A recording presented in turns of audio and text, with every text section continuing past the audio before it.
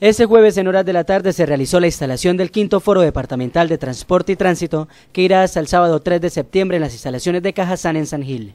El evento contará con la participación del viceministro de Transporte Felipe Targa Rodríguez, quien este viernes a las 8 de la mañana dictará una conferencia sobre la nueva orientación en el transporte terrestre. De igual forma participará el director de Tránsito y Transporte del Ministerio, Daniel Páez Barajas. Este viernes en la mañana el brigadier general Rodolfo Palomino López dictará una conferencia relacionada con la seguridad y los controles viales. En el quinto foro departamental se tocarán temas como el control, la vigilancia y la sanción estipulada por la Superintendencia de Puertos y Transporte, al igual temas como las cooperativas de trabajo asociado, el ámbito jurídico de los accidentes de tránsito y normatividad laboral del transporte.